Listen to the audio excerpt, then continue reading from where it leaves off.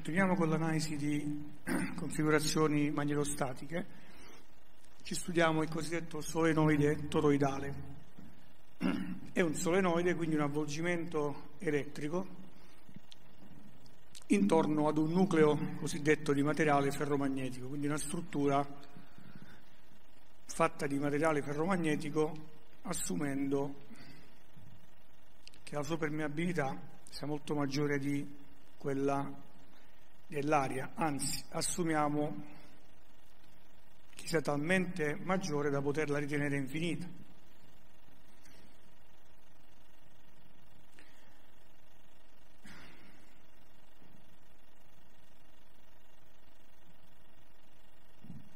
La corrente che si avvolge in queste spire, che scorre in queste spire, creerà un campo magnetico.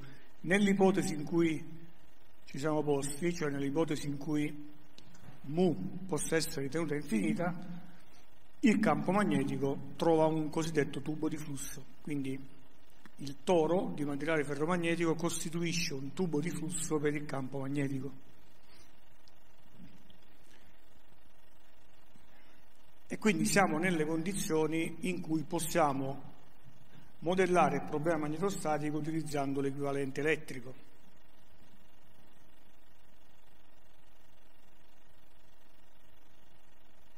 E quindi se voglio calcolarmi il flusso di B, potrei risolvere un problema elettrico equivalente nel quale la forza magnetomotrice venga associata ad un generatore ideale la cui ampiezza è n volte la corrente, dove n è il numero di spire. La variabile equivalente alla corrente è il flusso del campo magnetico ad ogni sezione, il pezzo di ferro di lunghezza L e sezione S viene modellato con la sua cosiddetta riduttanza. La riduttanza magnetica sarà uguale a L diviso mu per S dove L la lunghezza, e qui come lunghezza cosa prenderemo? Prenderemo la circonferenza media, la lunghezza della circonferenza media di questo toro, di questo ciambellone praticamente. S è la sezione e mu è la permeabilità. Ovviamente se considerassimo infinita la riluttanza sarebbe zero, quindi noi assumiamo mu molto elevata infinita rispetto a mu0, ma non poniamo il limite per mu che tende all'infinito, altrimenti il problema dal punto di vista circuitale è mal posto, come sapete. Bene, il circuito magnetico, il circuito elettrico equivalente al problema magnetico, il problema magnetostatico, ci consente di ricavare φ facilmente. Risolvendo il circuito, φ sarà Ni diviso R.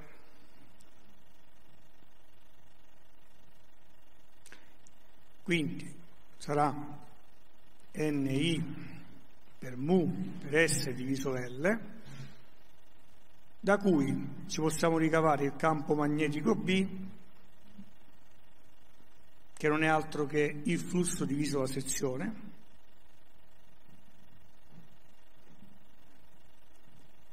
e quindi sarà mu Ni diviso L, oppure campo di induzione magnetica B, oppure vero e proprio campo magnetico che non è altro che B diviso mu e quindi Ni diviso L.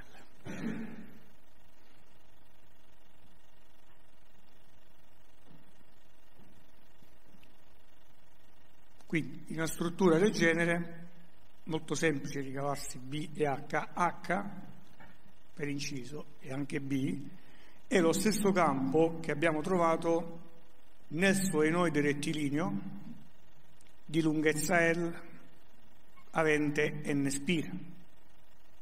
La differenza è che in quel caso, solenoide rettilineo, abbiamo dovuto introdurre un'approssimazione, perché la struttura non è infinita, quindi abbiamo dovuto troncare, abbiamo dovuto imporre che ci fosse un rapporto di aspetto tale per cui gli effetti di troncamento fossero trascurabili.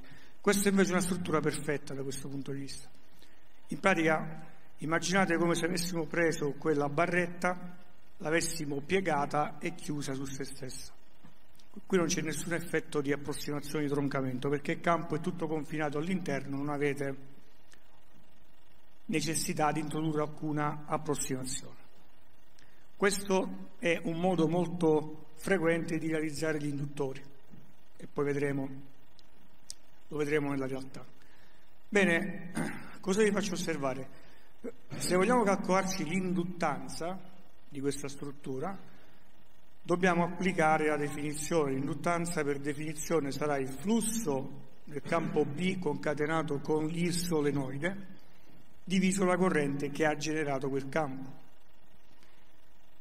Abbiamo già fatto osservare nelle scorse lezioni, questo Φn non è la soluzione del circuito elettrico, perché la soluzione del circuito elettrico ci dà il flusso ad ogni sezione.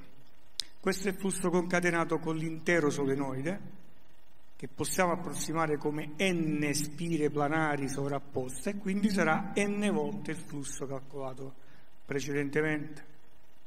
Quindi avremo nφ diviso i e quindi n quadro mu s diviso L. E cioè la stessa formula che abbiamo ottenuto nel caso di solenoide rettilineo. Esattamente la stessa formula. Bene, adesso facciamo un passo indietro. Io vi ho introdotto i materiali ferromagnetici dicendovi abbiamo assunto un legame molto semplice tra i due campi B ed H. Tutti i materiali che consideriamo in questo nostro corso hanno questo tipo di legame. I materiali ferromagnetici rispetto agli altri materiali dotati di proprietà magnetiche, ad esempio i cosiddetti paramagnetici, diamagnetici, i ferromagnetici si caratterizzano per una mu molto elevata, che può essere migliaia o decine di migliaia di volte la mu zero e questo ci conferisce una serie di proprietà tra cui la possibilità di usarli come tubo di flusso, quindi per intrappolare il campo magnetico e fargli seguire una direzione prefissata come stiamo vedendo dal, dagli esempi. In realtà i materiali ferromagnetici hanno un comportamento molto complicato e solo in condizioni particolari può essere approssimato con questa semplice legge di proporzionalità. Allora, come faccio a studiarmi il comportamento di un materiale ferromagnetico?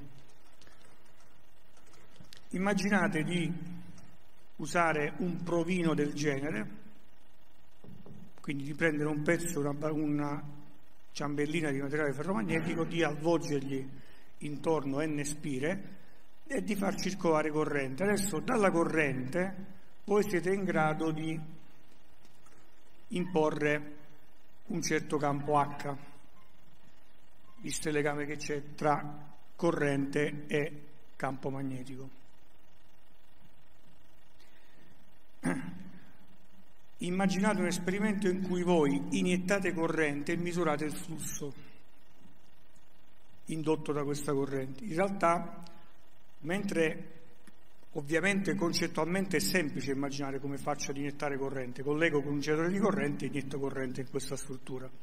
Misurare il flusso è un po' complicato da, da intendersi. In realtà, come vedremo nelle prossime lezioni, il flusso è legato alla tensione ai morsetti. In particolare vedremo che il flusso di B è legato all'integrale nel tempo della tensione, questo lo vedremo nelle prossime puntate, tra virgolette. Quindi cosa sto dicendo? In realtà da, da operazioni che potete fare ai morsetti di questo bipolo, vedete, io ho due morsetti, a questi morsetti posso iniettare la corrente e leggere la tensione. Iniettando la corrente significa sto imponendo H, leggere la, leggere la tensione significa sto misurando Φ e quindi B. Questo in linea di principio un modo per misurare la cosiddetta reazione costitutiva, cioè al variare di H come varia B. Quindi concettualmente io posso far variare H facendo variare la corrente e vedere la risposta in termini di B misurando la tensione, in particolare l'integrale nel tempo della tensione. Bene, se vado a fare questa operazione mi accorgo che i materiali ferromagnetici si comportano in maniera molto strana, molto particolare. E allora mettiamo su un piano cartesiano H e B. Supponiamo che i due vettori siano allineati, anche questo è già di per sé una grossa approssimazione, cioè stiamo dicendo che il legame tra B ed H è un legame tra i moduli e che B e H hanno stesso verso e stessa direzione, in realtà potrebbe anche darsi che il campo H abbia una direzione e il campo B un'altra, nel qual caso quella mu, per esempio, diventa una matrice, tecnicamente un tensore. Ruota il vettore. Escludiamo questa situazione. Supponiamo di avere un caso semplice in cui il legame è tra B modulo e H modulo. Tutto, tuttavia potrebbe capitare, anzi capita quanto segue. Immaginate che il materiale all'istante iniziale sia a riposo, come vedremo questo significa che non c'è energia immagazzinata in questo pezzo di ferro, quindi H uguale 0, B uguale 0. Partiamo da qui. Se incrementate H, il materiale vi risponderà così, vi risponde in un tratto lineare fino ad arrivare a un punto in cui cambia pendenza e inizia ad assumere una pendenza via via minore. Oltre questo valore di H, la pendenza è costante ed è uguale a mu0. Il coefficiente angolare da questo punto in poi è mu0. In altre parole, per valori di H superiori a questo limite, che si chiama campo coercitivo HC, il vostro materiale qui risponde come il vuoto, qualunque esso sia. Una volta che l'avete portato alla cosiddetta saturazione, si dice il ferro si è saturato, quel ferro vi risponde come risponderebbe l'aria, il vuoto, cioè imponendo un legame pH come se non ci fosse ferro, se fosse in aria. Quindi pura proporzionalità, B uguale a mu0 per H. E questo è un primo risultato. Parto da qui, seguo quella che si chiama curva di prima magnetizzazione, si magnetizza il materiale, arrivo ad un massimo che dipende chiaramente dal tipo di materiale, eccetera, eccetera, oltre il quale se continuo a spingere con la corrente e quindi col campo H, entro in un regime di saturazione in cui il ferro non esiste più. Mi dà la stessa risposta dell'aria. La cosa interessante qual è? Che se adesso da qui torno indietro, cioè inizio a ridurre la corrente, non percorro la stessa curva che ho percorso all'andata, ma ne percorro un'altra. Questa, per esempio.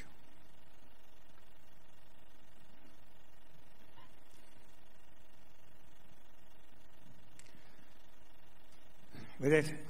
Io ho dato corrente partendo da zero, cresce la corrente, cresce H, cresce B e mi porto a lavorare in questo punto, oltre il quale ho il comportamento saturato.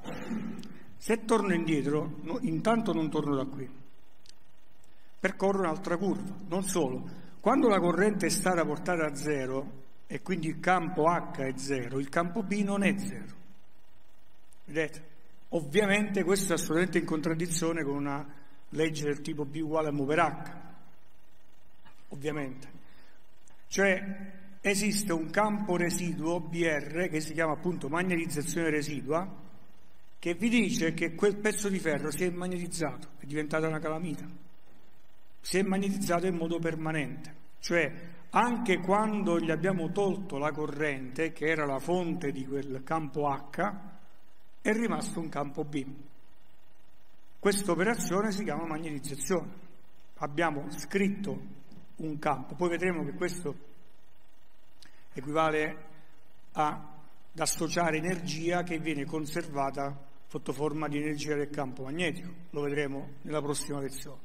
Sta di fatto che io non sono tornato indietro nel punto di riposo e ho lasciato la magnetizzazione al mio materiale magnetico. Se volete ho scritto un settore dell'hard disk la testina di scrittura ha una bobina, iniettiamo la corrente, creiamo il campo H, scriviamo l'equivalente del bit che vogliamo lasciare scritto in quel settore, che cos'è? Non è nient'altro che uno stato magnetico del settore dell'hard disk. E come faccio a far funzionare quella memoria? Deve funzionare proprio, proprio perché esiste questo fenomeno. Una volta che la testina di scrittura è passata, deve lasciare traccia in quel settore che esiste, che è stato scritto un dato. E che cos'è il dato? È la magnetizzazione, è associata alla magnetizzazione. Se fossi tornato indietro qui, non avrei scritto nulla. Gli avrei fatto fare un ciclo, ma poi sarei, avrei lasciato inalterato lo stato del settore dell'hard disk, per farvi capire a che serve questa magnetizzazione. Supponiamo di proseguire, cambio verso la corrente e continuo ad alimentare, stavolta con correnti negative. Seguo questo tratto e ottengo da parte opposta, simmetrica rispetto a questo punto, un andamento simile, cioè arriverò fino al livello meno HC di campo, oltre il quale anche qui la curva viene approssimata con una retta di coefficiente angolare mu0.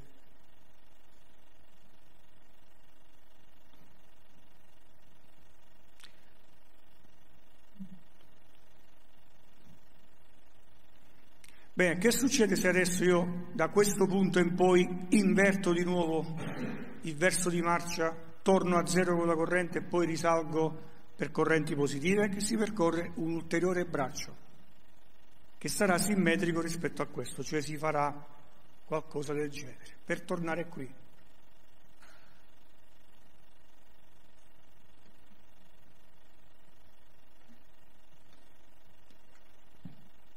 Ho disegnato in maniera abbastanza simmetrica, ma dovete immaginare che tipicamente questi quadranti sono simmetrici. Cercare di fare un disegno migliore di quello che ho fatto io anche se non esclusa la possibilità di avere cicli asimmetrici. Questo tipo di comportamento si chiama comportamento isteretico, non isterico, isteretico, questo si chiama ciclo di isteresi.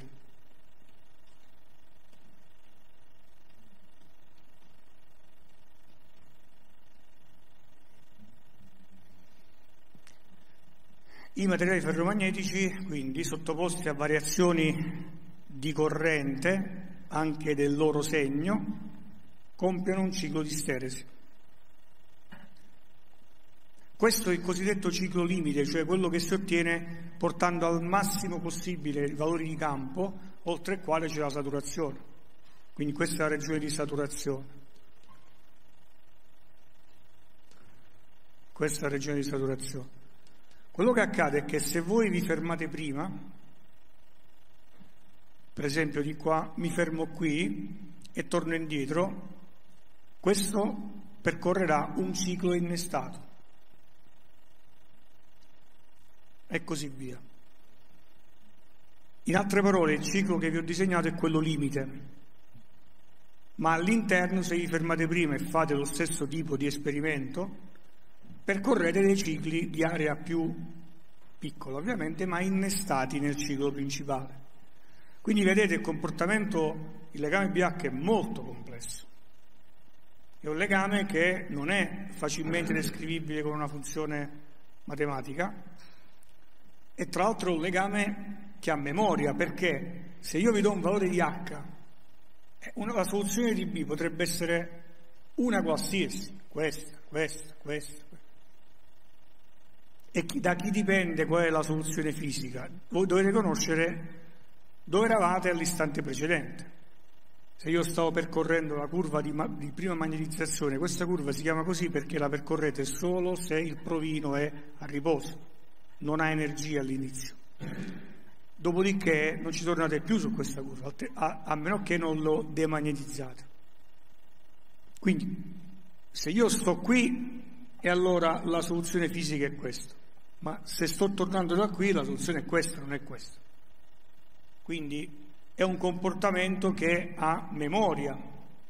Per sapere in quale ramo del ciclo mi trovo, devo avere indicazioni su che cosa ho fatto prima, altrimenti la, dire, la domanda è mal posta, non vi posso dire quale, sono tutte soluzioni che matematicamente sono accettabili, ma se non ho la condizione precedente non vi so dire qual è tra le soluzioni matematiche quella fisica, ovviamente. Bene, i cicli di steresi comportano, hanno diciamo una serie di controindicazioni, ma anche una serie di vantaggi. Il vantaggio, diciamo, principale che vi ho detto prima è che questi materiali sono quelli più naturalmente rivendicati per realizzare delle memorie e non a caso i materiali magnetici sono i, quelli largamente utilizzati per le memorie, a partire dalle vecchie cassette a nastro fino ad arrivare agli hard disk, per esempio, proprio perché è molto facile lasciare traccia, quindi scrivere un dato semplicemente magnetizzando appunto un settore, per esempio dell'hard disk. Eh, tuttavia ci sono situazioni in cui voi volete che comportamento magnetico venga eh, realizzato solo quando volete voi. In altre parole, ci sono applicazioni in cui voi, voi, noi, no, voi non volete che resti una magnetizzazione permanente. Volete realizzare quello che si chiama elettromagnete, ad esempio. Lo sfasciacarrozze, cioè l'elettromagnete, quello dei film americani, queste bestie elettromagnetiche prendono un'automobile da una parte all'altra, che cos'è quello? È un magnete, quindi è un oggetto con proprietà magnetiche che però voi dovete poter abilitare o disabilitare per prendere l'auto o sollevarla e poi rilasciarla. Se avesse questo comportamento, una volta magnetizzato l'auto resta attaccata, non c'è verso di smagnetizzarlo. E quindi tra i tipi di ferro, tra i materiali ferromagnetici che vengono utilizzati, si possono eh, classificare due grandi, si possono individuare due, due classi, due grandi classi di materiali, cosiddetti ferri duri e i ferri dolci. I ferri duri sono materiali adatti a realizzare magneti permanenti, quindi hanno una magnetizzazione residua molto elevata, tipicamente un ciclo di steresi molto largo, vedete, una BR molto elevata. Vengono utilizzati per esempio per realizzare magneti permanenti. Magnetizzate una tantum quel pezzo di ferro e poi diventa il magnete per le applicazioni che vi serviranno. Nelle applicazioni invece tipicamente legate alle macchine elettriche, come ad esempio i trasformatori o i motori, noi abbiamo bisogno di, di un'altra tipologia di ferro che si, chiamano, si chiama ferro, ferro dolce. Il ferro dolce ha un ciclo di steresi molto stretto ed ha una magnetizzazione residua molto bassa. Immaginate qualcosa del genere.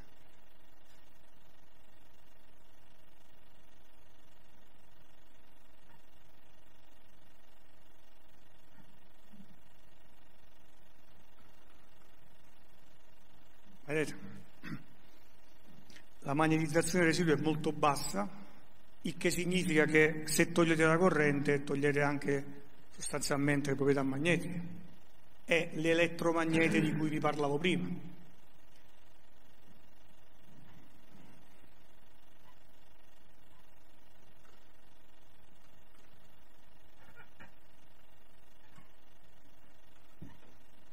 Tipiche applicazioni appunto di questi ferri.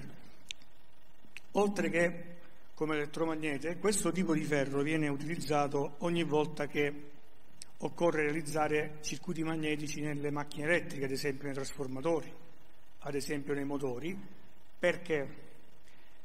Perché associata all'isteresi non c'è solo il problema di avere un legame BH molto complicato. Noi quando usiamo il ferro, nelle applicazioni di cui abbiamo parlato prima, sostanzialmente stiamo facendo un'approssimazione che è la seguente. Stiamo supponendo che il ciclo di steresi abbia un'area praticamente nulla e stiamo approssimando tutto il ciclo con una retta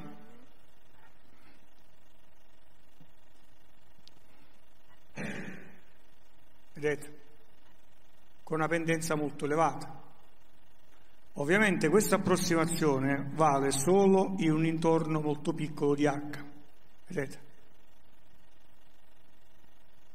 Questa è la regione di operatività in cui possiamo supporre ancora B uguale a mu per H. In questa regione, che sarà piccola, grande, questo poi dipende dal tipo di materiale. Allora immaginate che H venga fuori da un'alimentazione, da una I che sia una sinusoide. Immaginate che la I che alimenta quel solenoide sia una ITT, una funzione sinusoidale che oscilla con una certa frequenza. Cosa significa? Che se andate a guardare nel tempo, I oscillerà tra meno I massimo e I massimo con, che ne so, 50 cicli al secondo. Va bene? Allora, se I oscilla a 50 Hz, H oscillerà a 50 Hz, perché H, vi ricordo, uguale NI diviso L. E quindi H oscillerà tra un H minimo e un H massimo 50 volte al secondo. Se il vostro H massimo è questo, vedete? Se siamo in un intorno sufficientemente piccolo, allora per quel tipo di applicazione effettivamente possiamo trascurare il vero legame BH di tipo esteretico e approssimarlo con la retta B uguale a mu per H. Ovviamente ricordiamoci che è un'approssimazione perché se andate ad, ad incrementare il, cap, campo H entriamo prima nel, nella zona del cosiddetto ginocchio e poi nella saturazione. Quindi possiamo ancora utilizzare il nostro modello semplificato che ci consente di stimare le riluttanze con una mu di quel genere a patto che ci ricordiamo stiamo lavorando con correnti e quindi con campi H sufficientemente piccoli da non portare a saturazione il ferro, altrimenti quella R è ancora vera ma lì c'è mu0, cioè è traferro. Prima considerazione. Seconda considerazione, cosa accade durante un ciclo di steresi? Purtroppo l'isteresi non è a costo zero. In altre parole, se io oscillo 50 volte al secondo tra qui e qui, significa che 50 volte al secondo si percorre il ciclo. Questo dà luogo a dissipazione di potenza, di watt, cioè il ferro assorbe una parte dell'energia fornita dagli alimentatori e l'assorbimento del ferro, le cosiddette perdite nel ferro che vedremo nella lezione sui trasformatori, è proporzionale all'area del ciclo di steresi.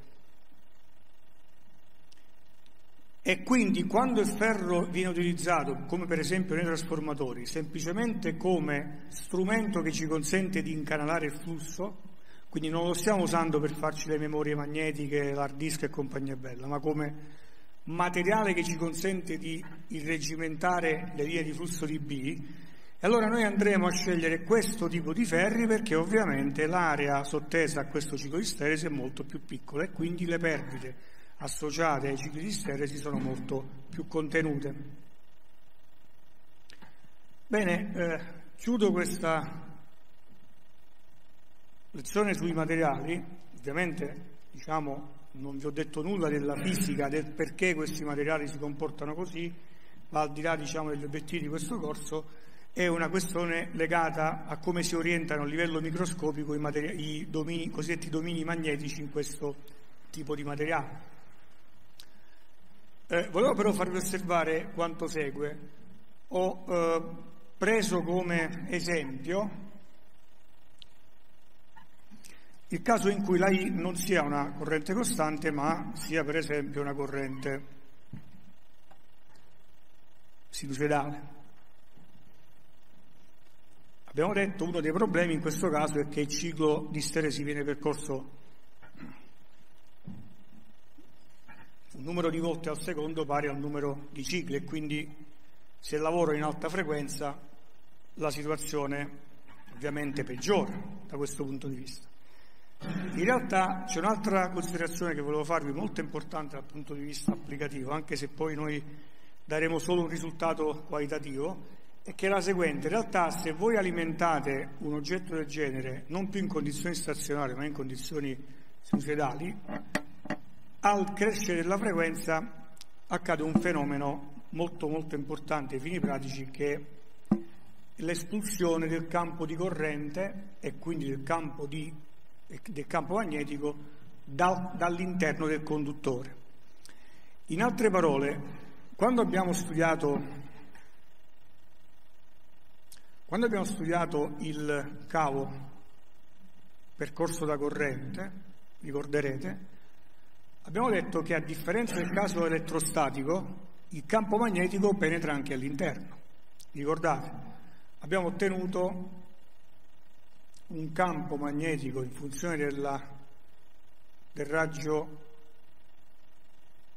R in coordinate cilindriche che cresceva linearmente da 0 fino ad A, dove A è il raggio del cavo, e poi, abbiamo detto, decadeva come uno su R uscendo dal cavo. Questo significa che, cam- che, tut- che la corrente e il campo penetrano all'interno del conduttore. Questo è vero sicuramente in condizioni stazionarie e l'abbiamo dimostrato. In realtà cosa succede? Quando aumenta la frequenza, il campo non è la corrente, densità di corrente, e quindi il campo non è più non utilizza, non è più presente in tutta la sezione del conduttore, ma solo in una sezione circolare, una corona circolare, la cui ampiezza è chiamata spessore di penetrazione.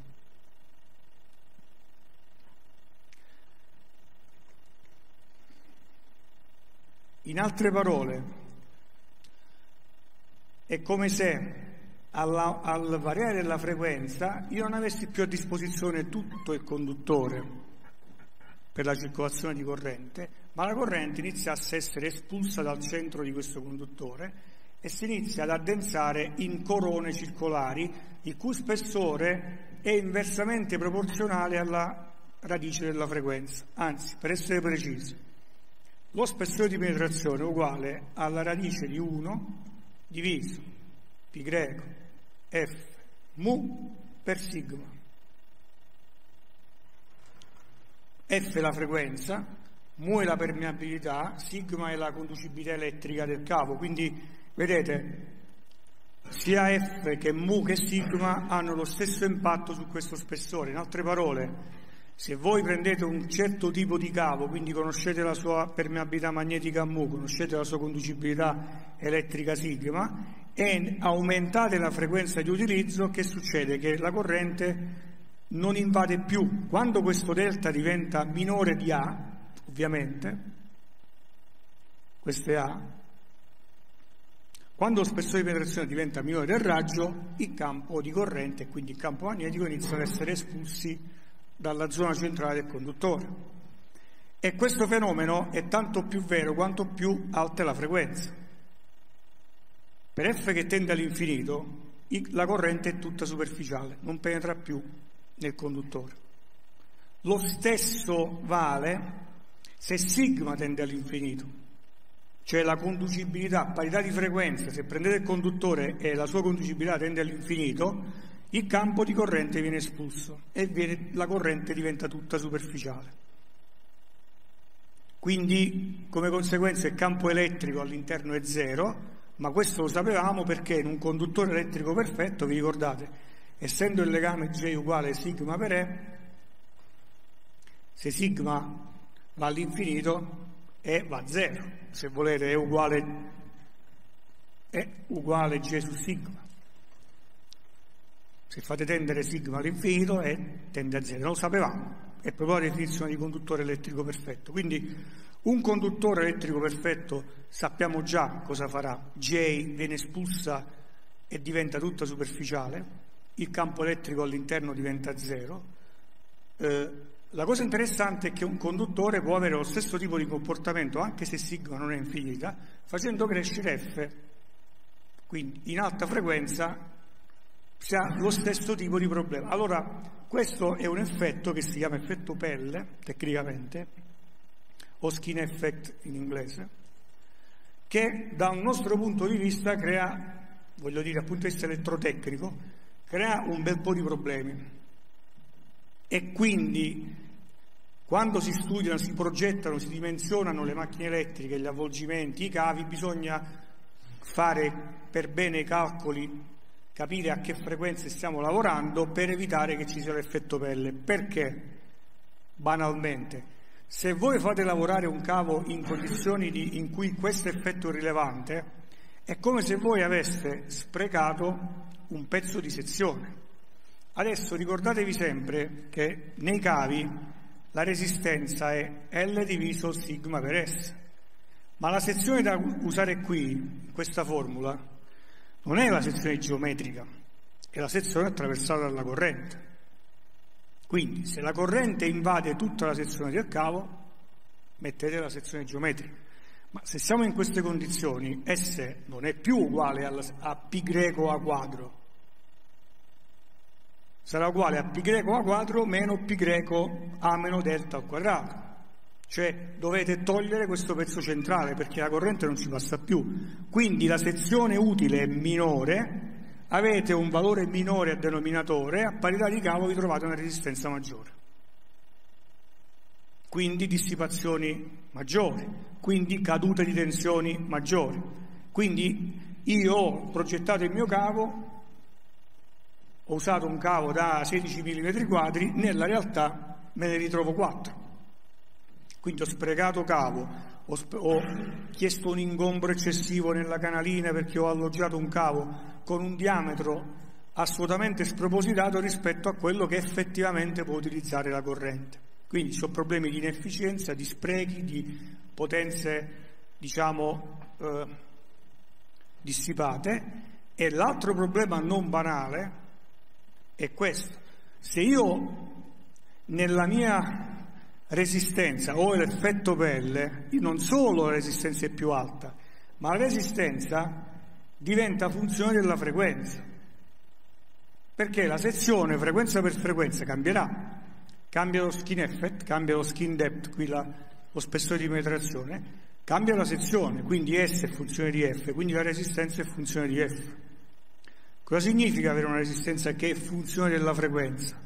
Per esempio problemi di distorsione armonica.